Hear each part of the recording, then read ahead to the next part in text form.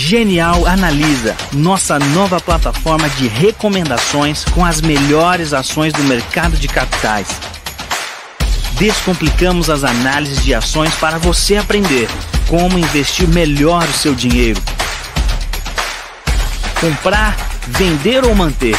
Essa é a resposta que você encontra na nossa plataforma. Existem mais de 400 empresas listadas na Bolsa de Valores. Tem as melhores ações na sua carteira, com as recomendações mais assertivas do mercado. Invista com qualidade. Genial Analisa.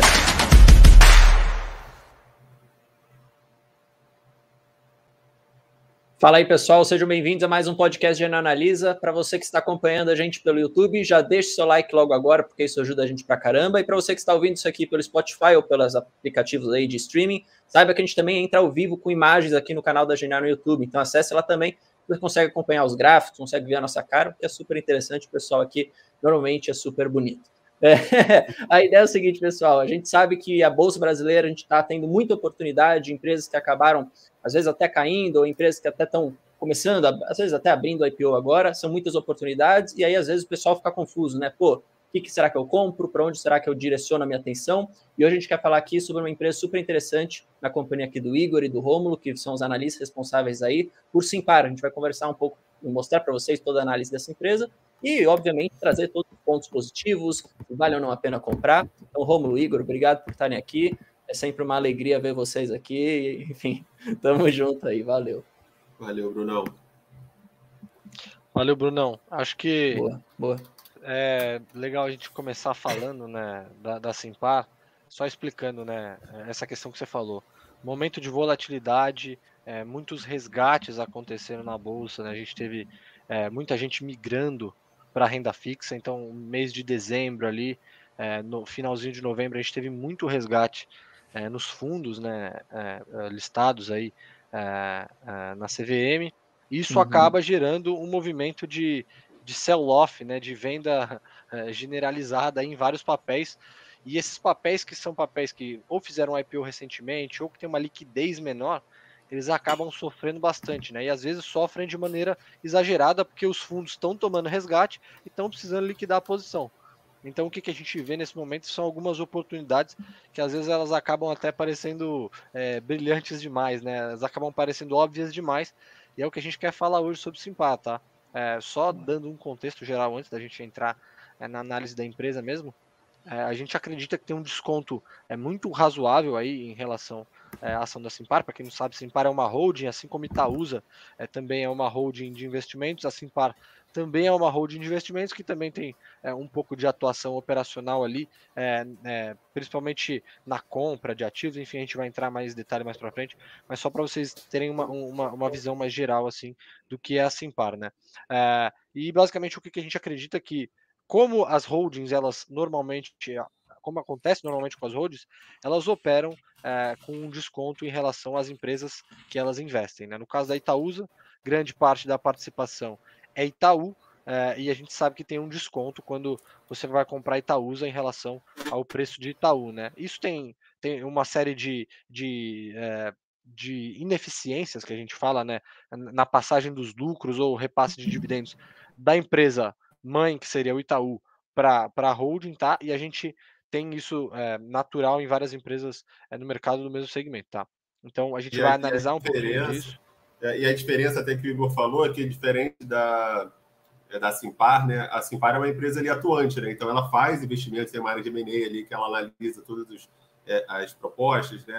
Os deals que podem fechar, originar ali para todo o grupo, diferente da Itaúsa, né? A Itaúsa, ela praticamente é uma holding ali que pega os dividendos da empresa que é basicamente do Itaú, né? E repassa para os acionistas. Então, a Simpar, além de ser uma... É, é, ser holding e ter participação nas empresas listadas, ela também tem outras empresas não listadas dentro dela, né? E que ela está sempre ali com, com, exercendo ali a atividade de prospectar novos negócios, né? De fazer novos investimentos e tal. Então é, é, é uma holding mas é um pouco diferente do que a Itaúsa, né?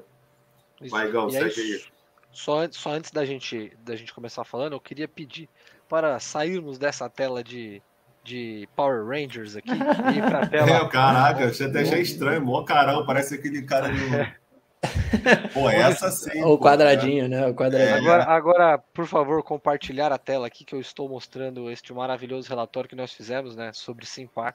Análise falando justamente isso, né? Compre 3 e leve 6. A gente tem, é, a gente acredita aí bastante nesse desconto, né, que ele está é, acima do, do usual e além disso, que algumas empresas dentro do grupo é, da Simpar, né, que a gente tem três listadas que seriam Movida, JCL Vamos, e tem mais outras três listadas, não listadas, né, que a gente vai falar mais para frente. A gente acredita que o mercado não está precificando é, é essas empresas não listadas, tá? Só para vocês terem uma noção, quando a gente vai falar do desconto, a gente fez umas contas aqui, se é, essas empresas não listadas elas valessem zero hoje, na verdade na data do relatório, né, que foi é, quando a gente divulgou isso, tá? É, na data do relatório, esse desconto ele seria de 18%. Então, só para você ter uma noção, a gente tem. É, você está literalmente comprando três empresas que são listadas com um desconto, justamente porque existe esse viés é, de ineficiência né, da holding em relação às controladas, e além disso, é, você ainda tem três empresas de, literalmente de graças, tá? É, e aí a gente vai falar um pouco mais a fundo de cada uma dessas empresas. Só queria trazer para vocês mais ou menos, né, é, qual, qual, que foi a performance dessas empresas, é, é, não, dessas empresas listadas e da, da própria Simpar, que é a hold que controla, tá? Então a gente tem é, a Vamos, que é a empresa de locação de caminhões e, e maquinário, né? Maquinário pesado. A gente tem a Movida, que acho que deve ser a mais conhecida do pessoal aí, que trabalha é, no ramo de locação de veículos, é, tanto é, no RAC, né, que é o Rent a Car, que é para pessoa física ou pessoas que querem fazer viagens e acabam alugando carros, quanto na operação de gestão e terceirização de frotas, que a gente chama de GTF aqui, que é quando você aluga o carro é, para empresas, são contratos de mais longo prazo, tá? E tem também a JSL, que eu tenho certeza que as pessoas já devem ter visto aí passeando pelas estradas é, Brasil afora, que é uma empresa de logística focada é, principalmente é, no transporte de mercadorias, tá? Então a gente tem essas três empresas listadas do grupo é, Simpar e além disso a gente tem a holding listada, assim como acontece, que nem a gente falou, é, com, com Itaú e Itaúsa, né? A gente tem a holding que tem uma participação relevante em Itaú e a gente tem a própria é, é, Itaú listada, tá? Então, só para vocês terem uma noção né, é, de como que essas empresas elas performaram, é, principalmente no ano de 2021. Tá? É, isso aqui é, é, um gráfico em base 100, então a gente tem a performance do dia zero em diante. Então, como vocês podem ver, a Vamos é um ativo que foi muito badalado, pouca gente conhece, mas é um ativo de extrema qualidade, tá? É, que depois do IPO dele, ela chegou a valorizar bastante. Hoje, se eu não me engano, ela já ultrapassa a faixa dos, dos 100% ali de, de valorização, tá? Um ativo é, que era muito badalado, como eu falei, tá? Que estava dentro do grupo Simpar e não era listado, fez o IPO recentemente, tá? A gente tem também os papéis da Movida e da JSL que underperformaram é, o papel do Simpar. É natural, né, que é, com as devidas é, participações ali da Simpar, tanto na Vamos quanto na Movida quanto na JCL, a gente tem a ela é, no meio do caminho, tá? Só para só vocês terem uma noção. Aí eu queria falar sobre a empresa, e se o Romulo quiser fazer alguma consideração, eu acho legal, antes da gente entrar especificamente no relatório, a gente abrir aqui é, uma, uma apresentação institucional da empresa, para a gente conseguir é, desmiuçar ali é, bonitinho, para poder entender o que cada empresa faz, qual é a participação é, da Simpar em cada uma dessas empresas. Você tem alguma coisa para falar, Romulo, antes da gente pular? É só aquilo que a gente estava conversando, né? Como se você pegar o market cap da Vamos, é o mais relevante ali da, da do que movido JCL, então é, o stake de Vamos acaba também levando muito a Simpar, né? Então, por isso que a gente vê também que é, a Vamos subiu bastante ali, acabou levando a Simpar para cima, enquanto a Movida e JCL ficaram meio que de lado ali até é, julho, julho de 2021, né? Então, é, o, é a empresa que vale mais do grupo todo aí. Tá, beleza. É, então, aqui no relatório, se o, se o pessoal quiser, até convido é, para acessar lá na plataforma Genial Analisa, a gente explica tudo bonitinho, tá? Tem essa questão da, da estrutura societária que que mostra né, a participação da Simpar hoje dentro de cada uma das empresas, o JCL que fez o IPO lá em 2020, a Vamos que fez o IPO em 2021, a Simpar tem a mesma participação, né, uma participação bem relevante, como você pode ver, quase 72% de, de participação, tanto na JCL quanto na Vamos. E a gente tem a Movida, que eu acho que deve ser a mais conhecida é, do pessoal, que fez o IPO lá em 2017, tá? Então a Simpar hoje tem 63% de participação na Vamos. E assim, é, conversando com a empresa, eu acho que é uma coisa que é, que é legal de falar, a própria empresa, a própria Simpar Holding, acha que esse ativo aqui está super descontado, tá? É, em algumas análises, quando a gente faz, a gente vai olhar é, o preço é, da empresa sobre o valor patrimonial dela, a gente vê que a, que a Movida ela está negociando com desconto sobre o valor patrimonial da própria Movida, tá? Então, mais ou menos, a, a, a, a como que eu posso dizer, a análise que, que, que, o pessoal da Simpar faz, né, a correlação é a seguinte, imagina que você vai comprar um carro, tá? Hoje na Movida, quando você está falando de Movida, basicamente você está falando de compra e venda de veículos e aluguel é, em essência, tá? Mas quando você vai comprar um carro, que é justamente onde está o valor patrimonial da Movida, você vai pagar é, 0,8% é, do valor do carro, né? Fazendo essa analogia com o valor patrimonial, porque hoje, justamente, é, o preço da Movida não condiz com o patrimônio que ela tem, que em suma são, são veículos, né? E era então... o que a gente estava então falando, né, lá no começo, cara. Eu acho que esse cenário que a gente está vivendo, ele abre portas para você ter uma empresa que é interessante, que é boa, que tem um modelo de negócio legal e que está descontado, né? E a própria holding até também fala isso, né? Então acho que isso é um, outro indicativo, né? É, e outro ponto também, é, o que o Igor falou, né, que está falando ali do, do, price to book, é, tem que ter uma, uma observação que é o preço do carro que está bucado não é o preço do carro que é se você vender o carro hoje, não é, né? Porque a gente sabe que teve o, o carro é, valorizou, né? O, preço do seminovo também subiu, porque tem que acompanhar o carro do o preço do carro zero. Então, esse é, price to book, eu falou de 0,8, também é um price to book errado, né? Porque, na verdade, o book ele é maior do que está lá, né? Porque o, o, preço do carro acaba valendo mais do que está no balanço, né? Então, é verdade, tem essa é defasagem, é né? É, exatamente. Então, a, a própria holding fala que eles estão achando... É que pode ser um bom momento deles mesmo aumentarem a participação em movida, é, justamente por conta dessa, dessa queda aí é, recente né, do, dos papéis, principalmente da, das empresas ligadas a transporte. Né? A gente sabe que, é, não querendo é, fugir muito do tema aqui de Simpar, mas a gente sabe que as empresas de transporte, naturalmente, elas são muito correlacionadas com o PIB, né? a gente tem uma uma dependência forte aí, né? Geralmente quando as expectativas de PIB são revisadas para cima, essas empresas performam bem. Quando a gente tem um cenário de juros é, baixo pela frente também, é, essas empresas acabam performando bem, justamente por ser é, um setor de capital intensivo, né? Mas é, eles acham que mesmo assim a, queda foi exagerada, tá? Então são empresas que vale a pena a gente ficar de olho, tá? E falando das não listadas agora, né, que são as empresas aqui da direita. A gente, em essência, hoje, a gente tem três, tá? E fazendo uma transição para uma quarta empresa. E, e vou explicar isso, tá? A gente tem a BBC Leasing, que é uma empresa que faz o leasing é, é, e o financiamento né, para pessoas que querem alugar caminhões. Então, eles fazem esse cross-sell entre as empresas do grupo. Para quem não sabe, JCL, por exemplo, é, eles têm.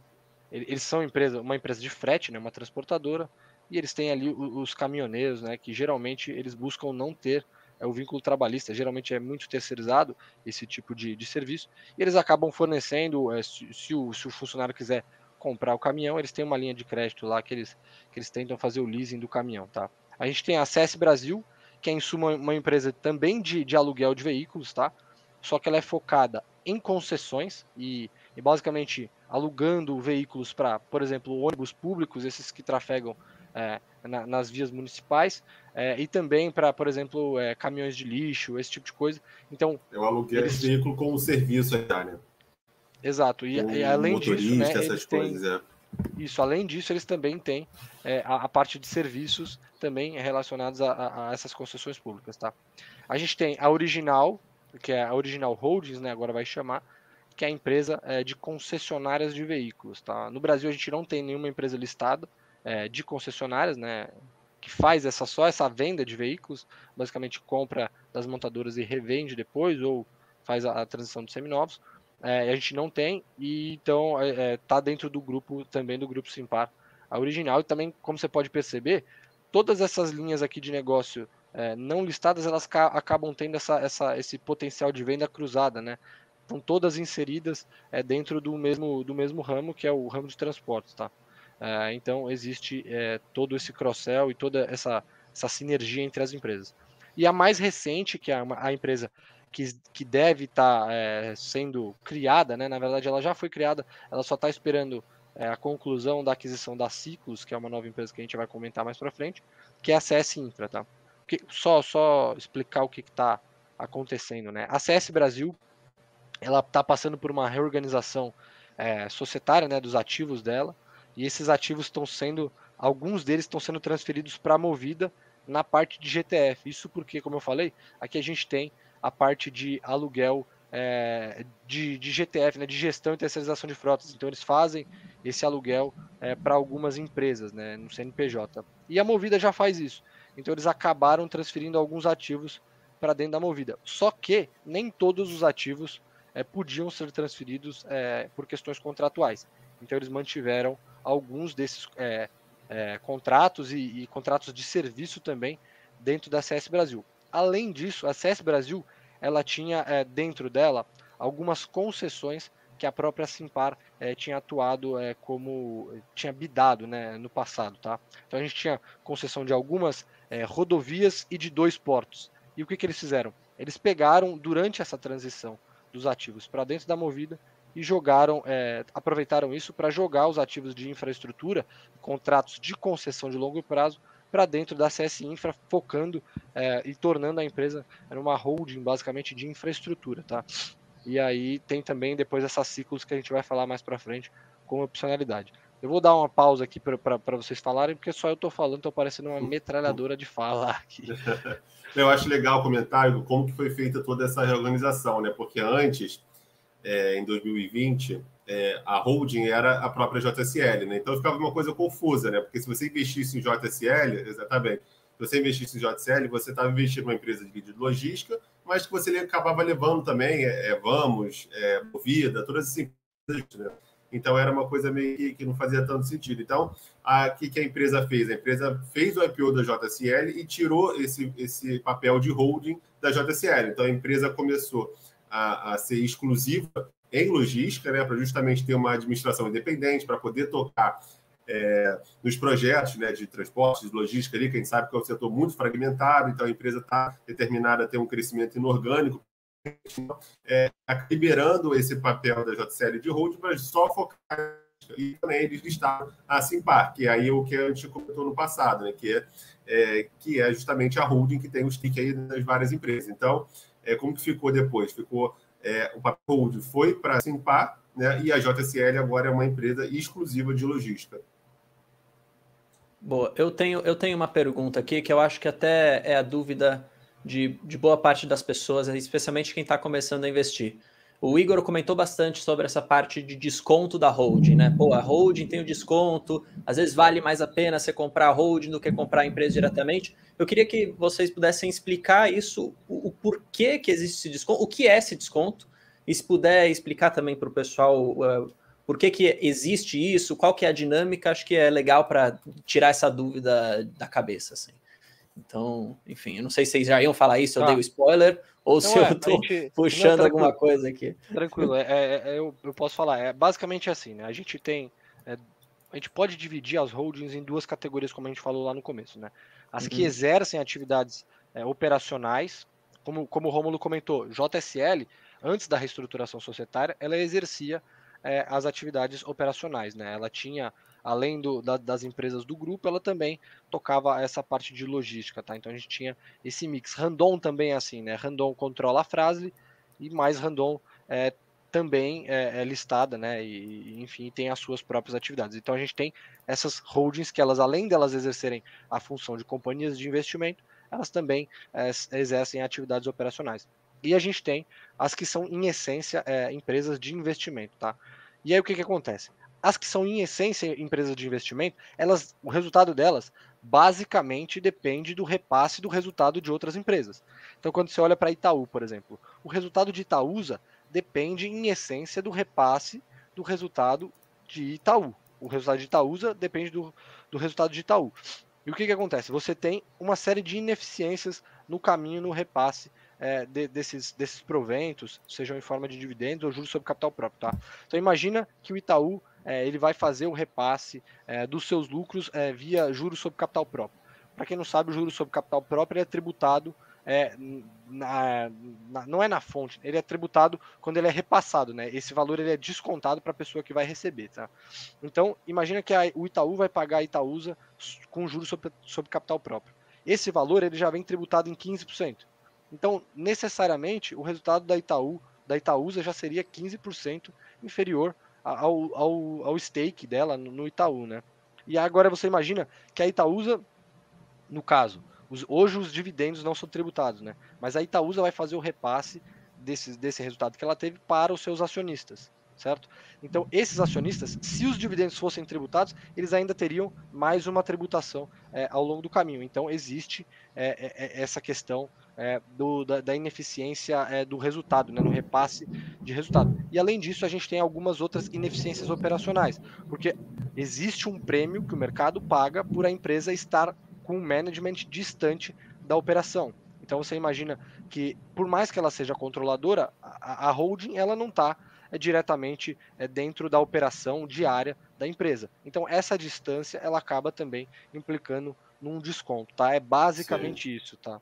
E você também tem um outro ponto é as despesas da holding, né? Porque é é, a holding, bem ou mal, tem ali o conselho de administração, a diretoria, o escritório e tal. Então você também tem uma despesa ali que a holding é, é, tem, né? Então você acaba botando isso no pacote. Então, uma analogia boa seria como se o, o dinheiro tivesse mais distante de você. Por quê? Porque tem uma holding ali no meio do caminho. Entendeu? Então, isso, sem dúvida, é um risco. Por quê? Se no caso de Itaú e Itaúsa, né? O Itaú paga o dividendo, é, cabe ao Itaúsa decidir quanto que ela vai pagar dividendo. Né? Se ela vai distribuir tudo, se não vai, se ela vai investir em alguma outra empresa. Entendeu? Então, você corre esse risco também de de, de, da decisão ali da holding. Né? Então, por isso que o mercado paga um prêmio é, em relação a isso. Né? Show, agora tá, agora tá claro para todo mundo, uhum. eu espero.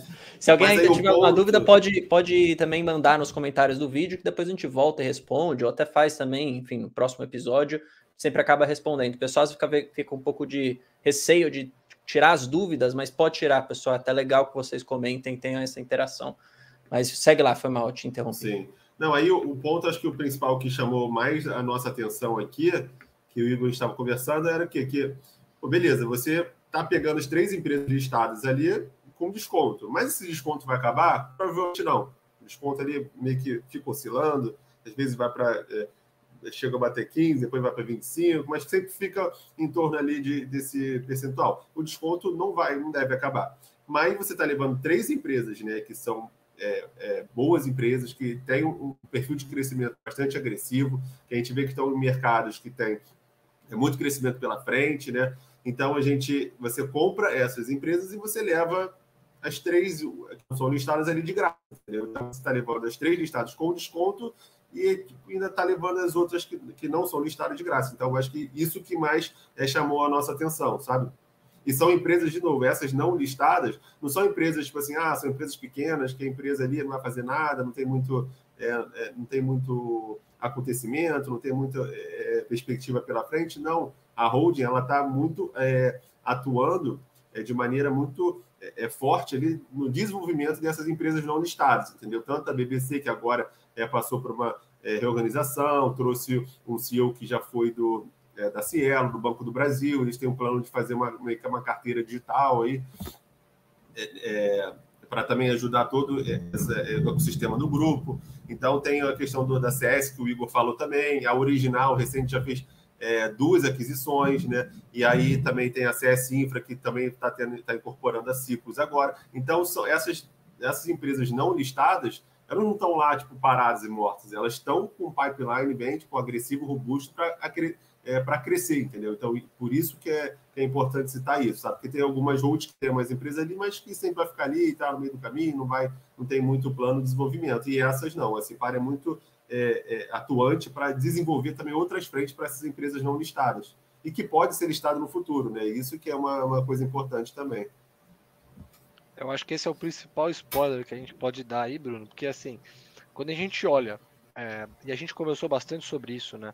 quando a gente olha para os movimentos de reorganização societária que a Simpara vem fazendo nos últimos anos, assim, É, primeiro, ela tinha essa estrutura aqui, né? Só, só para contextualizar. Ela tinha essa estrutura que a gente comentou.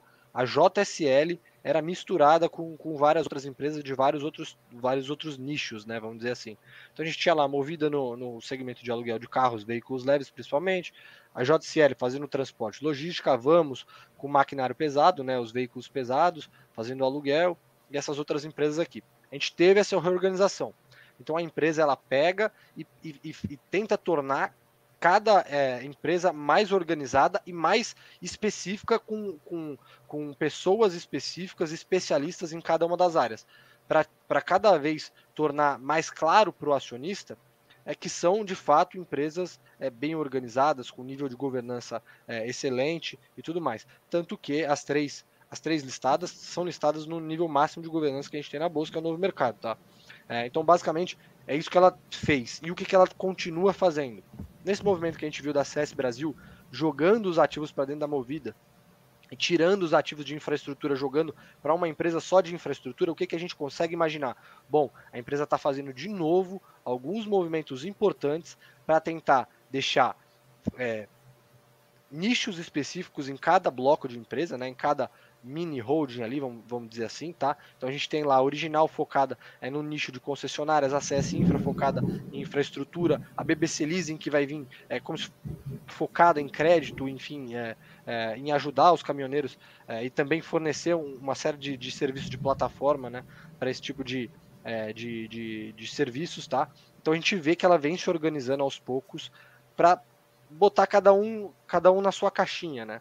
O que, que isso nos mostra? Que possivelmente essas empresas podem vir a serem, a, a serem listadas no futuro, né? Tanto a original, que, como o Romulo falou, vem fazendo uma série de aquisições, ela tem um, um, enorme potencial de crescimento quando a gente compara, por exemplo, com o tamanho das, das empresas é, concessionárias, né, holdings de concessionárias nos Estados Unidos, tá? E também a, a parte da CS Infra, que está comprando um ativo agora muito interessante, que é esse da Ciclos, que a gente vai falar lá na frente. Então a gente acha que além. Ó, são, são, são várias coisas aqui positivas né, que a gente falou. Então a gente está com. Além de você estar tá comprando é, é, as três listadas com desconto, além de você estar tá levando é, três ou quatro empresas praticamente de graça, você ainda tem é, um possível ganho de capital ali, com nova listagem de, de empresas que estão dentro do grupo, tá? Porque assim, a gente vê que essas holdings, geralmente elas é, gera muito valor para o acionista no momento em que ela faz é, a venda desse ativo que ela investiu é, uma grana bem menor é, lá atrás e depois consegue fazer a venda de parte dele no mercado é, é, por um valor maior, tá? Mas como, como o Romulo comentou, é, o case de Simpar, ela investe em empresas focadas em crescimento. Então a gente tem JSL, um mercado super subpenetrado, Vamos, nem se fala. Movida, embora seja um dos mercados mais consolidados, ainda tem um espaço de expansão no segmento de, de aluguel de veículos muito interessante. E essas outras empresas é, é mais ou menos a mesma figura, tá? Então a gente tem potencial é muito grande. Tá? Esse, esses movimentos que, que acontecem nas empresas que não são listadas, eles são, de certa forma, um trigger para a Simpar, assim, é, valorizar cada vez mais? Isso pode ser considerado, isso, isso tem que ser levado em conta pelo investidor também? Tipo, está correto pensar dessa maneira? Ah, sem dúvida. Sem dúvida. São, são movimentos, às vezes uma empresa faz uma aquisição, é, por exemplo, a original que a gente falou, né? É, a empresa, quando ela, é, é antes dela fazer as duas aquisições, ela tinha um valor, né? Então, quando ela botou as duas empresas para dentro, eu acho que a receita delas é, triplicou, se eu não me engano, né? Então, tipo assim, ela deu um salto de de, de, receita, de, de EBITDA, né, de, de, melhora de margem, você consegue ter uma sinergias e tal. Então, isso é, é, é enfim, é uma geração de valor ali que a empresa está fazendo movimentos para é, crescer. Né? Então, é, o problema é, como não é listado, é, as pessoas não conseguem saber, né? Tipo, ah, quanto que está valendo isso e tal, né? Então, enfim, o mercado parece que ele só só faz a conta ali quando de fato a empresa, ah, vou anunciar aqui o IPO da, da, da, tipo, da Vamos. Quando anunciou o IPO da Vamos, aí, tipo assim, aí o valor da holding foi lá para cima, entendeu? Então parece que o mercado só faz a conta ali, de fato, quando a empresa divulga o IPO, né? Que já sabe mais ou menos ali o, o preço que vai captar, quanto que vai valer e tal. Então é sempre isso. Então a ideia é justamente, pô, você levar é, todas essas empresas, né? perspectiva de uma ou outra na frente abrir o capital. Então você vai ter também essa essa é, valorização do, da holding, sabe? É, e só para você ter uma noção, Bruno, tipo assim, hoje, é, mostrando aqui a quebra da receita líquida, né? De fato, é, a, da receita líquida da Simpar do último trimestre, tá? Do último trimestre reportado, de 3T21. Você vê que, de fato, as empresas listadas, elas representam muito mais é, na receita líquida é, consolidada da companhia, tá? Só que, assim, os valores das outras empresas, por exemplo, Original é, e ACS, que, que ali a ACS Brasil, tá ainda, ACS Brasil, eles representam é, quase 10% da receita da, da companhia, tá? E assim, você estaria considerando o valor da Simpar hoje é, só 90% da, da receita dela. Então, como você pode ver, o Romulo falou, essas empresas elas têm, é, elas têm receita, elas são empresas lucrativas, são empresas saudáveis. Embora elas, tenham, elas tenham números muito inferiores aos das empresas do Estado, elas têm um potencial, vamos dizer assim, um potencial adormecido ali. Porque você imagina é, a, a, uma, empresa dessas capitalizada, né, em mercados é, super subpenetrados. É, a, J, a JSL, né, a, a nova Simpar agora, ela já demonstrou que ela tem um potencial enorme é, é, de, de transformar é, os seus cases internos ali em empresas super lucrativas, tá? Então, é, quando você para para analisar isso, é muito difícil de desconsiderar, tá? Lá na frente, é, um pouquinho mais à frente do nosso papo aqui, é, eu acho legal a gente mostrar, né, um pouco da, do, do, que acontece lá fora, né? Como são valoradas essas empresas lá fora, tá? Só para a gente entender quanto de valor a gente poderia adicionar no case de Simpar aí, tá? Não, ótimo. É, é, é bom saber isso. Só para descontrair um pouco. Vocês estão. Eu estou quase convencido de comprar ações Simparco. Porque eu confesso que eu não tinha. A única que eu tinha era movida. E, e, e às vezes, quando você olha para Movida, que você já acha que é uma empresa boa, sei lá, cara, ela tem uma participação, Simpar tem uma participação super relevante também, né? E aí o que você colocou no começo, pô, Simpar também acredita que está descontado. Então isso, de certa forma, é uma notícia boa, vai, para tentar te convencer a, às vezes, montar uma e nova é uma posição. maneira, sem dúvida, Bruno, é uma maneira também de você ter uma diversificação ali, né? Porque, por Exato. exemplo, você tem só movida, né? E você levando Simpar, você, você leva movida, vamos, JSL, entendeu? Então é uma maneira também de você diversificar, né?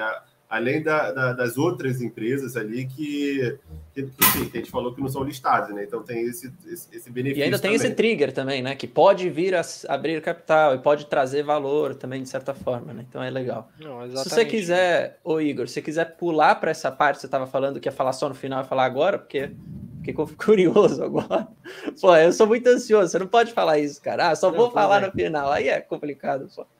Não, brincadeira, tô, tô, tô, não, tô tá, não, eu, eu, vou, eu, vou, eu vou primeiro numa parte que eu acho que é bem, bem ah, importante boa, da gente falar, antes da gente falar desses, desses gatilhos, tá? É, é, o seguinte, a gente falou já de possíveis, possíveis listagens, falamos de desconto, falamos dessa questão né, do mercado não estar precificando essas empresas não listadas, falamos também das opcionalidades, né, que é que a, a Simpar ela tem esse histórico de, de fazer é, boas é, fusões e aquisições, né, que acabam gerando essas opcionalidades de crescimento orgânico. Se você olhar o histórico é, de aquisições da companhia, você vai ficar impressionado, tá? É, e, e, basicamente, quando a gente olha o crescimento de receita ali, tem muito crescimento orgânico, mas também tem crescimento inorgânico, tá? É, a gente tem alguns outros gatilhos também que a gente considera, né, que podem gerar um ganho de, de volume ali, né, de receita, que são os investimentos é, em infraestrutura e, e, e que estão acontecendo no país, né, principalmente a gente tem investimentos em saneamento, a gente teve o marco regulatório também do gás e tudo mais, que eles podem acabar é, significando em maiores receitas, por exemplo, para as empresas é, ligadas à infraestrutura ou gestão é, de resíduos sólidos. Tá? Então a gente acha que a Simpar, né, algumas das empresas do grupo Simpar, elas devem surfar essa nova onda de investimentos no Brasil aí, tá? E além disso, que eu acho que é uma das fortalezas da empresa que é importante a gente falar, que é a força do grupo, tá?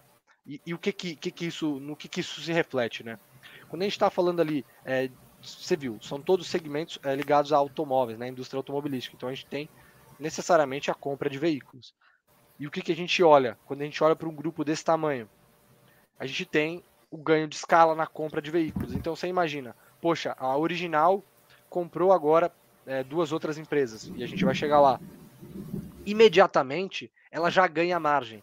A partir do momento que ela aumenta o volume dela de compra de veículos, então ela consegue abater bastante do custo né, do, do, do de aquisição é desses veículos, então é isso é margem instantânea para a empresa, é sinergia instantânea que ela consegue ganhar. Isso é um diferencial muito grande, porque você imagina, É, hoje a gente tem é, Localiza, que é um dos principais players ali, na verdade, o principal player de locação de veículos, ele tem uma frota de mais de 300 mil veículos é, rodando.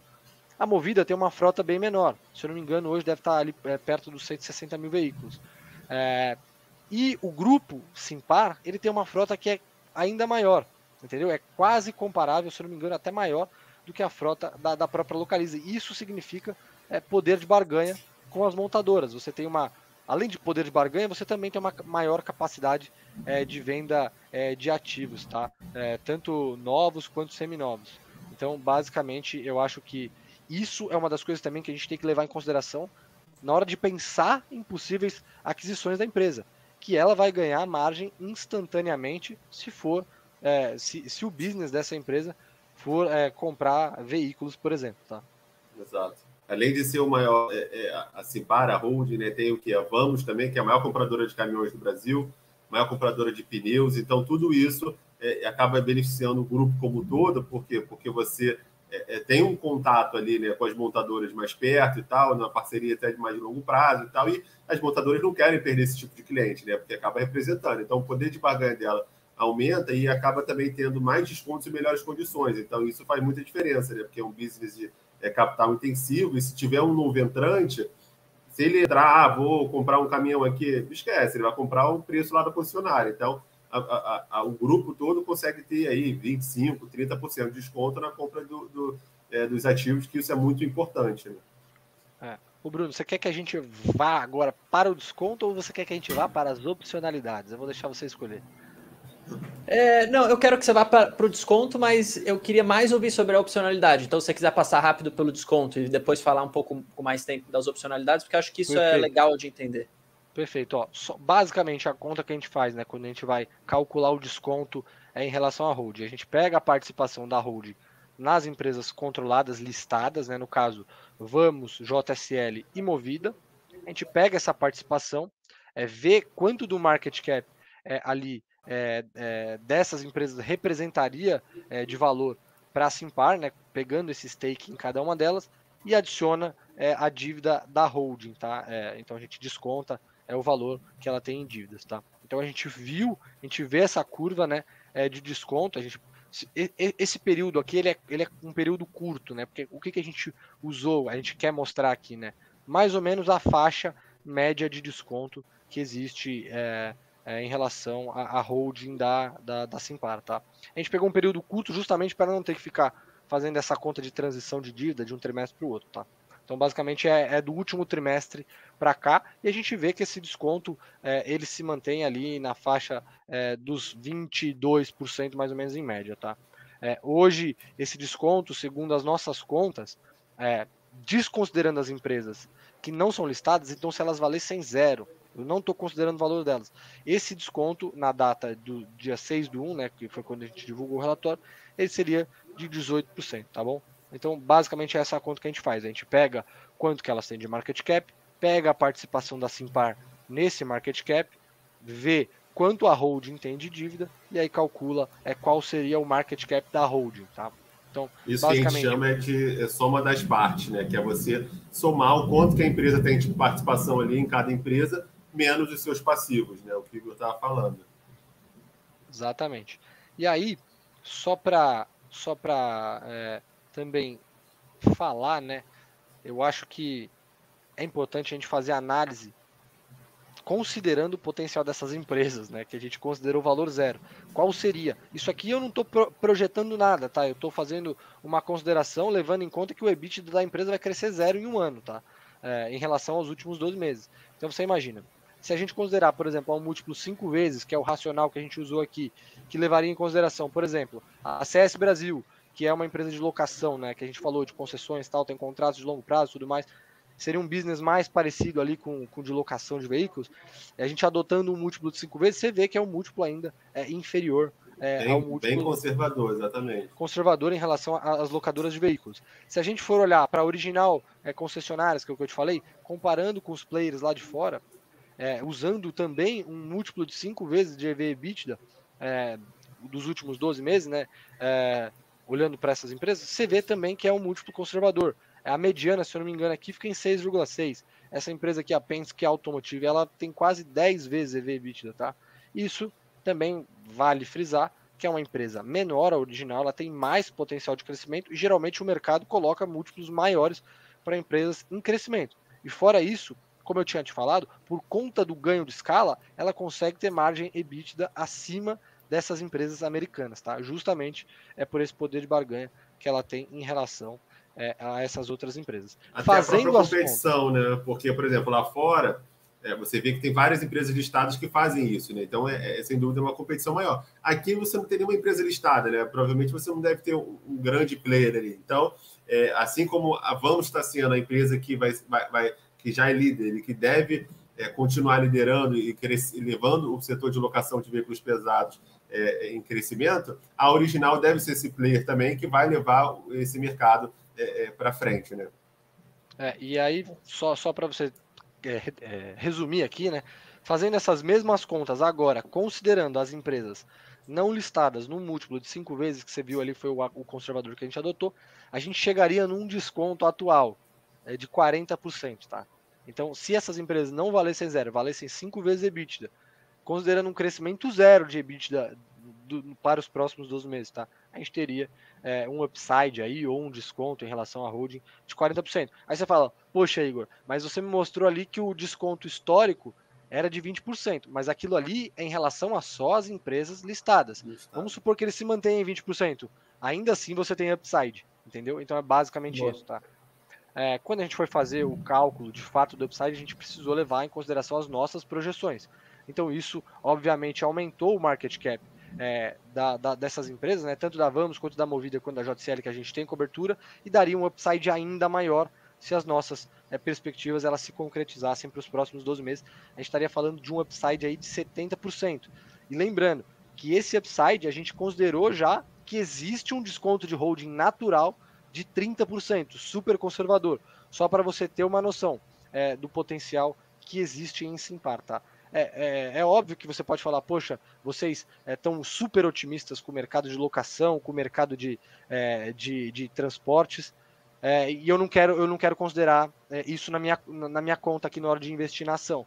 Ah, então eu vou ficar só com os meus 40% ali de potencial de valorização. Só para você entender a assimetria que existe aqui de ganho, tá? A gente está falando que no pior dos cenários você vai perder é, pouco, né? Porque a gente tem um desconto médio ali entre 22% e 18%, e o potencial de ganho de, de mais de, de, de 40%. Tá? Então, Qual é o preço-alvo que vocês chegaram para Simpar? A gente tem um preço-alvo de R$16,60. E hoje está mais hoje ou menos? Acho que deve estar tá em, em torno dos 10 reais. Pouco, é. é, 9, Boa. 9 alguma boa. coisa, tá? Então agora vamos para as opcionalidades, tá? É. Falar disso Parte boa. eu acho que é importante, tá? Hoje é, tá no, agora está 9,30. É, boa. Como a gente falou, né? O grupo essas opcionalidades elas estão pautadas em possíveis novas aquisições do grupo ou possíveis listagens, tá? Recentemente, a Simpar ela adquiriu, né, via Original Holdings, eles adquiriram duas empresas no segmento de concessionárias, que foi a UAB Motors e a Sagamar. São duas é, duas empresas que possuem concessionárias em regiões de atuação diferente da original. Tá? A original mais concentrada no sudeste do país e essas outras. É, uma está no, no, sudeste e a outra está é, no, no, no, nordeste ali. Tá? Então, basicamente, ela fez essas duas aquisições e é aquilo que o Romulo estava falando. Considerando só o ganho, o, o ganho de, de, volume dela, essas, essa empresa já deveria valer é, muito mais. Tá? Então, a gente fez essa comparação, né, considerando é, as outras é, empresas listadas lá nos Estados Unidos. E aí a gente chegou. É, aqui tem, tem uma visão geral né, da aquisição, só para falar. A original tinha atuação forte no estado de São Paulo. A UAB maior do que a original. marcas também. É, verdade. Então, a original tinha atuação em São Paulo com duas marcas principais, que era é, Fiat e Volkswagen. A UAB tinha uma extensão maior de marcas, inclusive era maior que a original, e graças ao potencial, àquela força do grupo que eu te falei, eles conseguem ir lá aí fazer essa aquisição da UAB, que acrescenta novas marcas para o grupo e também aumenta a área de atuação, tá? E a Sagamar, que está lá é, no estado do Maranhão também com outras marcas. Então, depois dessa aquisição que a, que a original fez, ela estaria atingindo o número de 18 marcas, tá?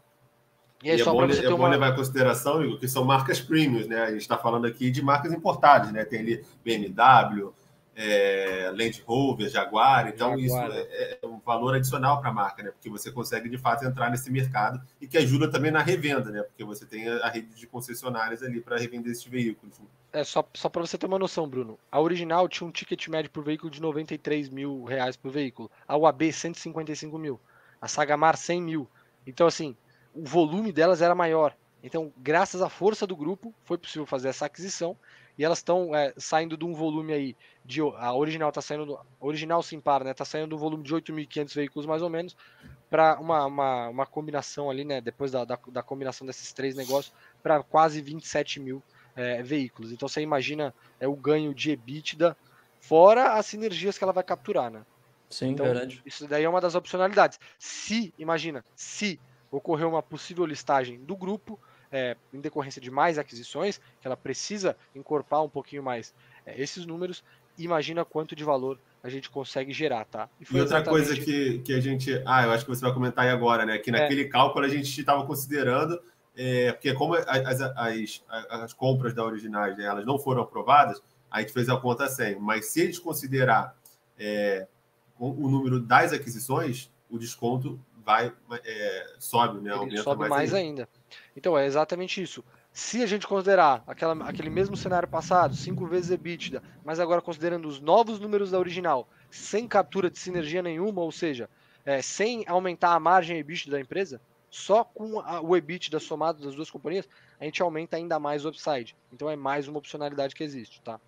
Agora eu vou falar de outra opcionalidade que está relacionada à CS Infra, aquela que eu falei lá no começo, tá? que é, é basicamente a empresa Ciclos. É, a Ciclos ela é uma empresa que faz a gestão integrada de, de resíduos. Né? Então, é, hoje, ao, ao final é, da, da, da, da, integração né, da Ciclos com a CS Infra, eles vão estar tá focados ali desde o. É, é, eles vão ter concessões de, de rodovias, é, infraestrutura, concessões de, de portos, portos e, e, também vão ter é, essa questão da gestão de resíduos sólidos, tá? Então, aí o que eu quero falar, né? Eu quero linkar com outros dois cases que a gente tem é, na Bolsa hoje, tá? É, hoje na Bolsa a gente tem duas empresas listadas na Bolsa do Brasil que fazem é, esse tratamento de, de, resíduos, né? São empresas que cresceram bastante, principalmente uma que ficou bem popular, que é a Ambipar. Ela cresceu muito o volume, basicamente porque a competição era, era, era pequena, né, Romulo? Então, a gente viu que existe esse, essa possibilidade é, desse movimento é, de da Simpar de jogar as empresas de infraestrutura e concessões toda para um, um pedaço só, de uma possível listagem deles estarem imaginando, justamente por ela ser é, é, valorada né, aos múltiplos dessas empresas é, de, de gestão de resíduos. Tá? Só para vocês terem uma ideia, eu não vou me estender muito aqui, é, mas só para fazer uma comparação, a Ciclos, a aquisição dela foi feita a, mais ou menos um EV EBITDA ali, que é um, um valor relativo que a gente fala, né? De nove vezes, tá? Foi, entre, é, foi um range, né? Porque existe é, alguns reconciliamentos de contrato, ali reestruturação contratual que eles estão contratual que eles estão fazendo, mas foi mais ou menos nove vezes, fica com esse número na cabeça. A Horizon, que é listada, e a Ambipar, que são listadas, elas negociam a um múltiplo acima de 12 vezes, tá? Então a gente ainda está sendo é, conservador também é, nas premissas. Se a gente olhar em valor de mercado, hoje a Ambipar é disparada a maior delas. 4,5 bi. Mas a gente está falando da Ciclos, uma empresa de 1,2 bi, né, que foi adquirida, tá? E a, quando a gente olha para a receita líquida, a gente vê que Ciclos e Horizon são bem parecidas em questão de tamanho, né? Então, se a gente fosse utilizar um múltiplo é, mais agressivo, deveria ser mais próximo a esse múltiplo da Horizon, tá? E a receita líquida da Ambipar é bem maior que a das duas, tá? Só que a gente vê que existe um potencial aqui é bem grande, tá? E também existe essa questão de possível estágio. Aí eu queria falar para você exatamente aquilo que a gente é, falou anteriormente. Né? Ah, beleza, mas quanto isso me geraria de valor? Bom, a gente pegou e fez a mesma conta. Desconsideramos aquela aquisição da original, que a gente tinha falado, aquelas duas aquisições, pegamos aquele cenário base, tá? Dos 40%. E colocamos a aquisição da ciclo, da ciclos. Quanto isso me geraria é, de potencial ou, ou, possível, vamos dizer, entre aspas, o desconto é, de holding ali, né? E a gente chega, fazendo essas contas, a gente chegaria num desconto de quase 80%, ou caso essas, essas, é, esse desconto deixasse de existir, um potencial de upside é de 79%, tá? Então você vê que existe muita opcionalidade aqui. Imagina se a, se a, se a Simpar começa a dar a sinalização de que vai listar de fato aquela CS Infra que a gente viu lá atrás, tá bom? Então é mais ou menos isso que a gente tinha para falar aqui. Eu sei que foi um pouco rápido, tem muita informação, mas eu deixo o convite para você, Bruno, e para quem quiser acessar o relatório que está lá na plataforma, tá? Eu acho que tem tudo mais bem explicado, tem diversos gráficos, diversas análises é, mais, mais elaboradas lá do que a gente consegue fazer aqui rapidamente. Beleza? É, não, e, e para quem acompanha no, no YouTube, o link está aqui na própria descrição do vídeo. E também, enfim, se você quiser acessar a plataforma diretamente, super simples, analisa.genialinvestimentos.com.br. Logo na home você já vai ter o relatório ali nos primeiros quadradinhos ali, porque é um relatório relativamente é, novo também, né? Enfim, o, eu, o, que eu, o que eu queria dar aqui, minha opinião, é o seguinte: eu nunca tinha pensado em investir em Simpar, porque eu achava, e aí tá errado, agora vocês até mudaram minha opinião, que movida já era, era uma posição super relevante ali e não teria muita diferença. Eu já tinha movido e falei, ah, não vou ter as duas coisas. Eu tava pensando muito, talvez, em Itaú e Itaúsa, sabe? E aí, agora, com, com, esse, com, essa, com essa live aqui, eu percebi, o Rômulo colocou esse ponto super interessante. Cara, tem movida, mas tem outras que dá uma diversificada também. Então, isso, de certa forma, pode minimizar um pouco o risco das posições, né? Que movida é um case só e sim, para como vocês estão falando até no título, né? Comp 3, leve 6, né? São, são seis empresas ali. Então, super interessante um upside bem, bem, bem legal também, né? Então, que vocês mostraram ali. E vocês foram conservadores, né? Só para entender isso. Na, na, premissa, você foi conservador e é mesmo assim você encontrou esse upside, é isso? Exatamente. Assim, é, é, é óbvio que a gente tem um, um cenário é, de juros ali é, subindo, né? A gente tem a questão de PIB uhum. caindo que a gente falou, tá? Então, assim, isso é, tem que se refletir provavelmente no, no, no target price das outras empresas, né? É, mas a gente mesmo assim acha que tem esse upside. Você vê, na, nas premissas da análise rápida ali, né, que a gente fez aquelas contas rápidas é, de, de múltiplo, a gente está sendo conservador, tá? E outra coisa que eu queria falar, Bruno, só antes da gente é, encerrar aqui, tá? Eu tô, uhum. tô, com uma tela separada aqui, eu não sei se ela, ela abriu aí para vocês, abriu, né? Abriu. Só para você ter uma noção, tá? Esse gráfico aqui, o que, que ele mostra? Ele está mostrando a evolução das estimativas do EBITDA da Simpar? Para o final de 21 uhum. versus a cotação das ações da Simpar. Então, é assim, é nítido, né? Você vê que a cada mês que passa, ou que passou, As a projeção de EBITDA foram revisadas para cima. E o que, que aconteceu com a cotação da ação? A cotação da ação só foi indo para baixo. E assim, de fato, existe essa questão que a gente falou para você tem é, perspectiva de PIB pra, é, que foi reduzida para baixo, Os tem juros, é, impacta, juros que subiu, mas também tem aquele sell-off que eu te falei. Tem muito fundo tomando resgate. É, tem essa pressão. Então, uhum. Existe essa pressão vendedora e que acaba empurrando as empresas de menor liquidez, tá? Hoje o Romulo até me perguntou quanto que era, por exemplo, é, a liquidez é, de Simpar, né? O volume, a média de volume tradeado. Simpar, se eu não me engano, ficava na casa dos 40 milhões, né, Romulo? É 36, eu acho, por aí. É, entre, 30, entre 35 e 40 milhões, mais ou menos, a média é, de, de volume tradeado. Enquanto você vê localiza, se eu não me engano, é mais de, de, de 180 milhões, tá? Se eu não me engano, acho que até mais alto que isso. Então você vê que tende a sofrer muito mais, tá? Então, é, basicamente era essa, essa figura aqui que eu queria trazer. Você me desculpa se eu me estendi demais, se eu falei demais.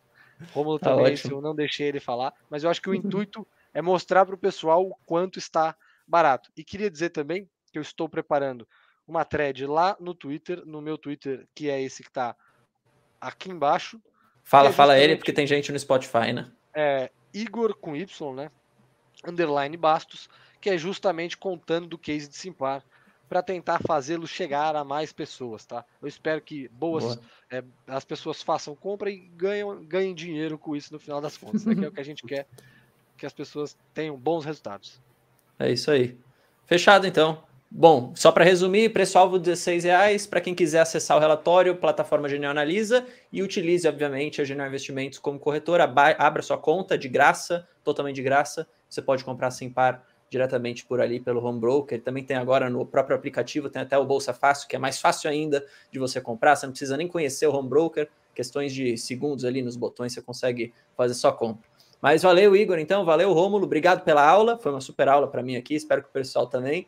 A gente se vê no próximo episódio. Pessoal, deixem a sua sugestão também aqui nos comentários de temas que vocês querem para os próximos podcasts, seja de empresa específica, seja de falando, às vezes, um setor específico, alguma notícia de mercado também. A gente está sempre aberto para fazer temas relevantes para vocês também. Beleza? Valeu, Igão. Valeu, Rômulo. Tamo Valeu, junto. moçada. Até Valeu, o próximo episódio. Um abraço. Valeu, abraço. Tchau, tchau. Genial Analisa, nossa nova plataforma de recomendações com as melhores ações do mercado de capitais. Descomplicamos as análises de ações para você aprender como investir melhor o seu dinheiro. Comprar, vender ou manter? Essa é a resposta que você encontra na nossa plataforma. Existem mais de 400 empresas listadas na Bolsa de Valores. Tem as melhores ações na sua carteira, com as recomendações mais assertivas do mercado. Invista com qualidade. Genial Analisa.